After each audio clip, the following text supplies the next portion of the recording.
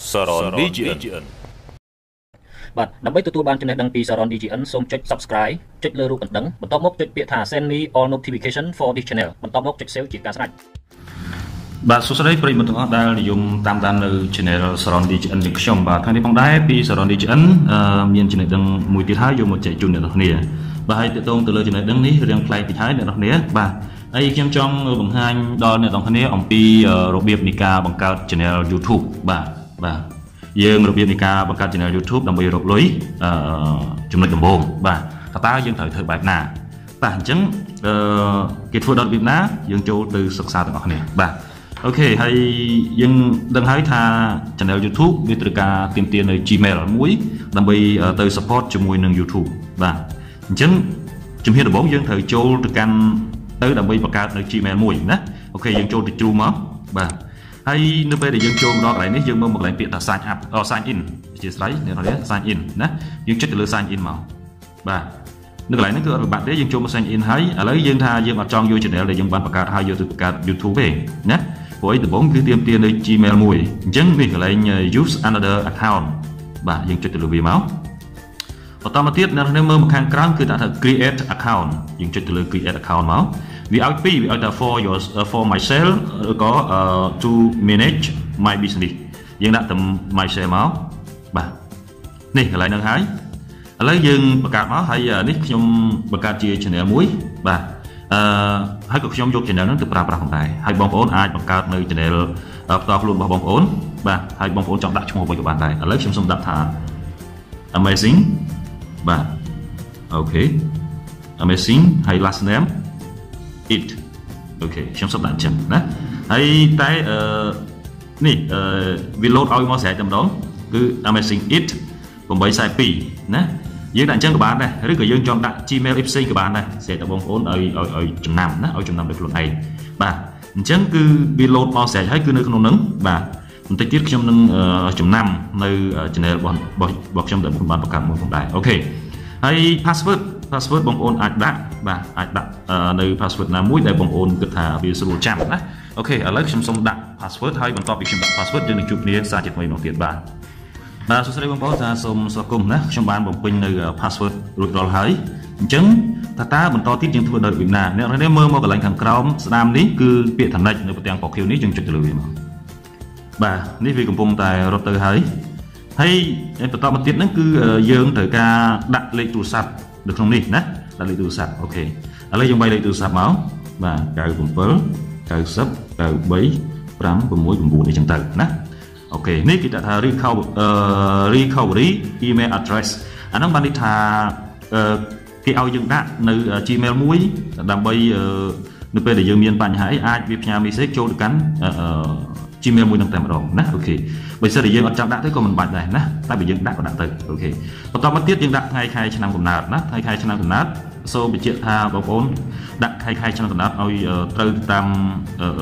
ឬក៏មិនត្រូវតាមអត្តញ្ញាណបានក៏បានដែរណាអូខេប៉ុន្តែនៅចំណុចតបទៀតគឺយើងត្រូវធ្វើម៉េចឲ្យច្បាស់ទៅតាមអត្តញ្ញាណបានរបស់យើងទាំងអាស័យដ្ឋានទាំងអីគ្រប់សពបែបយ៉ាងណាតែខ្ញុំមិនតន់ដល់ហ្នឹងទេតែចំណុចនេះគឺខ្ញុំបង្ហាញតែរបៀបបង្កើតនៅ channel YouTube ដំបូងបាទដំបូងជាអឺ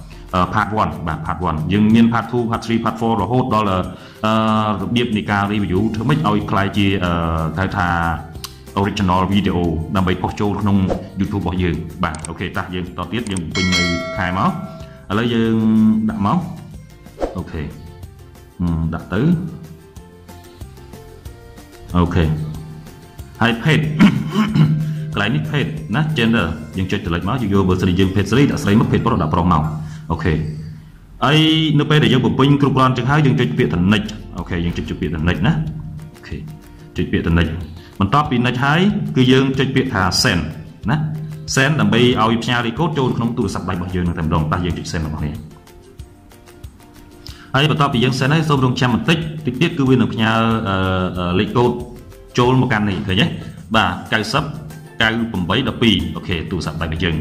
90 98 12បន្ទាប់ពីយើងបំពេញលេខកូដហើយយើងចុចទៅពាក្យថា verify OK យើងចុចទៅលើពាក្យថា verify ហ្នឹងមក OK មកដល់កន្លែងនេះហើយគឺយើងសន្លឹងមកខាងក្រោមទាំងបក Q នេះយើងចុចទៅ yes I'm in ណាមិនដែលយើងយល់ព្រមចូលទៅកាន់ហើយណា OK បន្តមកទៀតវាចេញមកបែបនេះយើងអស់ចុងក្រោម report យើងមកស្វែងរកពាក្យថា I agree បានន័យថាយើងយល់ព្រមជាមួយនឹងក្រុមហ៊ុន Gmail ហើយយើងបង្កើតបាន Gmail មួយហើយណា OK បន្ទាប់ពីយើងបង្កើតបាន Gmail គឺវាលោតមកបែបនេះណា OK ឥឡូវយើងចុចទៅលើវាមកថាតើវាបញ្ចេញមកបែបណានេះគឺជា Gmail របស់យើងដែលយើងបានបង្កើតមិញមិញណា OKអូខេនេះគឺវារួចរាល់ហើយគឺវារួចរាល់ហើយបន្តមកទៀតយើងចុចអឺកន្លែងនេះដើម្បីយើងទៅវាយពាក្យថា YouTube បាទ YouTube បាទ youtube.com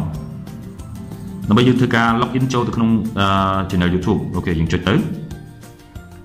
បាទបន្ទាប់ពីវា load មកបែបនេះអ្នកទាំងអស់គ្នា សូមចុចកន្លែង sign in នេះណាចុចកន្លែង sign in នេះបាទចុចកន្លែង sign in ហ្នឹងគឺវារំលោត direct តែម្ដងឃើញទេវា load channel របស់យើងវិញមិញដែលយើងបានបានបង្កើតវិញនេះគឺវា load ចូលមក direct តែម្ដងអញ្ចឹងប៉ុណ្នេះវាអត់តាន់គ្រប់គ្រាន់ទេវាអត់តាន់គ្រប់គ្រាន់សម្រាប់អ្វីដែលយើងរៀបចំឲ្យកើតជា channel YouTube professional មួយទេណាអូខេអញ្ចឹងយើងចូលទៅរៀបចំទាំងអស់គ្នាតើតើការរៀបចំរបស់គេគេធ្វើដល់របៀបណា ហើយខ្ញុំសូមបញ្ជាក់ផងដែរថានៅពេលដែលយើងរៀបចំ channel យើងត្រូវមានឈ្មោះ channel យើងត្រូវមាន cover បាទយើងយើងត្រូវមាន cover ឬក៏វីដេអូណាមួយដើម្បីឲ្យយើងផុសចូលនៅក្នុង channel របស់យើងបាទតែនេះយើងខ្ញុំអត់ទាន់មានអឺតន់តន់បានថតវីដេអូទេអញ្ចឹងខ្ញុំគ្រាន់តែធ្វើបទបង្ហាញនៅចំណុចដំបូងគេថា part 1បាទជូនដល់បងប្អូនដើម្បីឲ្យរបៀបនៃការបង្កើត channel YouTube ដំបូងអូខេអូខេតោះយើងចូលទៅរៀបចំអ្នកនោះចុចមកកន្លែងសញ្ញាត្រេ3នៅចុងដៃខ្ញុំនេះបាទចុចមក ហើយអ្នកនេះអស់មកកន្លែងហ្នឹងមកយកពាក្យថា desktop site OK desktop site ដើម្បីយើងចូលទៅរៀបចំនៅ channel របស់យើង OK វាលោតមកបែបនេះហើយអ្នកនរគ្នាបាទបន្តមកទៀតឥឡូវយើងអឺ zoom មកឲ្យធំតិចមកអាប្រេកមកធំតិចមកដើម្បីយើងចូលមកកន្លែងនេះណាចូលកន្លែងមក channel របស់យើងយើងចុចទៅលើ channel ហ្នឹងមកបន្តមកទៀតអ្នកនរគ្នាសូមចុចទៅលើពាក្យថា my channel OK OK កន្លែង my យកគេយក channel ហ្នឹងហើយគឺវាឲ្យមកបាត់នេះហើយ អឺឈ្មោះនេះគេឲ្យថាបើសិនជាយើងមិនចង់ដូរដាក់ឈ្មោះហ្នឹងទេណាយើងអាចដូរដាក់ឈ្មោះផ្សេងបានអត់បញ្ហាប៉ុន្តែសម្រាប់សម្រាប់ខ្ញុំគឺខ្ញុំជ្រើសរើសយកឈ្មោះនេះតែម្ដងដើម្បីយកមកដាក់ទៅជាឈ្មោះ channel របស់ខ្ញុំមួយនេះបាទអូខេបន្ទាប់ពីយើងបានកែប្រែឈ្មោះបដូរឈ្មោះនៅទីនេះរួចរាល់ហើយបដូរឬក៏មិនបដូរស្រេចតែបងប្អូនណាអូខេរួចហើយគឺយើងចុចមកកន្លែងពាក្យថា create channel បាទយើងចុចទៅលើពាក្យថា create channel ហ្នឹងមក បាទបន្ទាប់មកគឺវាលោតមកដល់បែបនេះណាអ្នកនរនេះគឺលោតមកបែបនេះហើយបែបនេះគឺវាអត់តាន់គ្រប់គ្រាន់ទេណាហើយកន្លែងនេះនេះយើងមានឈ្មោះហើយ no no subscriber មិនតាន់មានគេចុច subscribe ទេដោយសារតែយើងទៅតែបង្កើតមិញមិញហ្នឹងបាទយើងកំពុងតែបង្កើតហ្នឹងអូខេចំណុចជាបន្តទៀតយើងចូលមកកន្លែង customize channel បាទដើម្បីយើងចូលទៅតាក់តែងនៅ channel របស់យើងអូខេនេះអូខេហើយអ្នកទាំងអស់គ្នាសូមដាក់នេះមក ដាក់ profile ណាដាក់រូបភាព profile តែម្ដងឥឡូវខ្ញុំសូម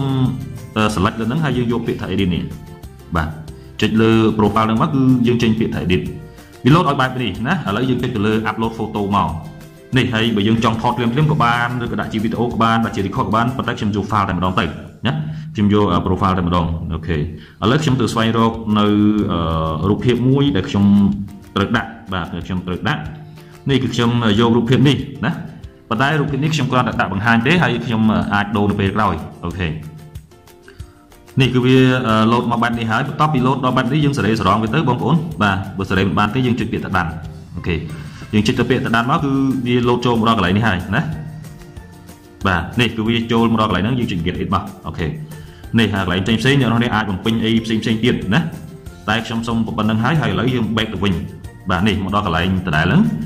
អឺវាមិនតាន់ចេញទេណាអ្នកនរនេះវាមិនតាន់ចេញរូបភាពលើហ្នឹងទេតោះនេះគេនេះយើងយើងដោយសារតែយើងអត់តាន់បាន refresh មិញណាទៅពេលដែលយើង refresh គឺវា load ឲ្យតែម្ដងកន្លែង channel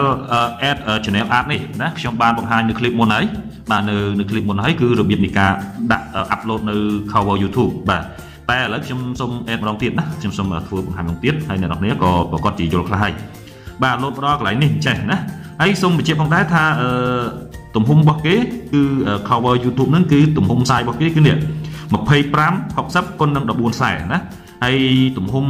សរុបរបស់គេហ្នឹង file របស់គេគឺ6 MB ហ្នឹងហើយអូខេអញ្ចឹងបងប្អូនគួរតែរៀបចំ design ធ្វើបែបហ្នឹងទៅបាទនេះខ្ញុំធ្វើតាមបង្ហាញតាមទូរស័ព្ទដៃទេហើយតាមពិតទូរស័ព្ទដៃកុំព្យូទ័រធ្វើអត់ខុសគ្នាទេគឺដូចគ្នាតែម្ដង OK តាស់យើង select OK អានេះ cover ឥឡូវយើងចុចយកទៅលើ file មកបាទហើយយើងទៅស្វែងរកនៅ cover របស់យើងដែលយើងបាន ធ្វើធ្វើយើងទុកដាក់រៀបចំ OK នេះខ្ញុំសូមយកប៉ុណ្ណឹងហើយបាទជា cover channel របស់ខ្ញុំបាទ OK នេះគឺវារួចដល់ហើយបន្ទាប់ពី load មកដល់ក្នុង desktop ចឹងហើយអ្នកនរគ្នាចុចមកពាក្យថា adjust crop បាទដើម្បីដើម្បីយើងមើលថាតើវាពេញលក្ខណៈដែរឬអត់ណា OK OK នេះហើយអញ្ចឹងយើងមើលទៅគឺវានៅចំនៅចំកណ្ដាលហើយបន្ទាប់ពីយើងបានរៀបចំអញ្ចឹងហើយអ្នកនរគ្នាយើងចុចពាក្យថា select បាទយើងចុចពាក្យថា select អូខេឃើញទេអញ្ចឹងដោយសារតែនេះវាធំពេកណាខ្ញុំខ្ញុំខ្ញុំធ្វើហ្នឹងគឺអក្សរធំធំពេកអញ្ចឹងវាចូលអត់អត់ពេញទេអញ្ចឹងអ្នកនរគ្នាអាចលួចបន្តិចម្ដងបន្តិចម្ដងដោយខ្លួនឯងណា OK OK ហើយនេះគឺវារួចហើយអ្នកនរគ្នាហើយយើងចូលមកកន្លែងនេះមកបាទយើងចូលមកកន្លែងវីដេអូមកបាទកន្លែងវីដេអូហ្នឹងគឺយើងអត់តាន់បាន upload វីដេអូទេវាដាក់ថា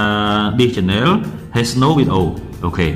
អញ្ចឹងបន្ទាប់ពីយើងចូលមកដល់កន្លែងហ្នឹងហើយអ្នកនរមើលមកកន្លែង profile ណាមកមកកន្លែង profile យើងចុចទៅលើវាមកដើម្បីយើងចូលទៅរៀបរយនៅ profile របស់យើងបន្ទាប់ពីយើងចុចទៅលើ profile វាលោតមកនេះយើងចុចទៅពាក្យថា creator studio បាទយើងចុចទៅលើវាអញ្ចឹងមកនេះបងប្អូនយើងចុចមកកន្លែងហ្នឹងហើយគឺវា load ឲ្យយើង upload នៅវីដេអូមួយណា upload នៅវីដេអូមួយអូខេ អូខេបងប្អូនដោយសារតែคลิปនេះវែងពេកអញ្ចឹងខ្ញុំអត់ចង់ធ្វើឲ្យវែងទេខ្ញុំសូមបញ្ចប់ត្រឹមហ្នឹងហើយយើងនឹងរងចាំជួបគ្នានៅ part 2បាទ part 2ជាបន្តទៀតខ្ញុំនឹងបង្ហាញអ្នកនរនេះឲ្យលម្អិតទាក់ទងជាមួយនឹងរបៀបនៃការរៀបចំនៅ channel របស់យើងតើតើយើងធ្វើដោយរបៀបណាអូខេសូមអរគុណច្រើន